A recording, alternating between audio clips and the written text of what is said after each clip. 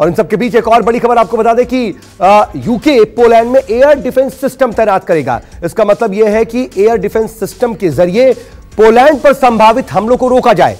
Poland में यह air defence system तैनात करेगा यूके रॉयटर्स के हवाले से यह खबर आ रही है लेकिन इसका मतलब समझना ज़रूरी है। मतलब यह कि क्या पोलैंड पर किसी तरह के खतरे का अंदेशा है?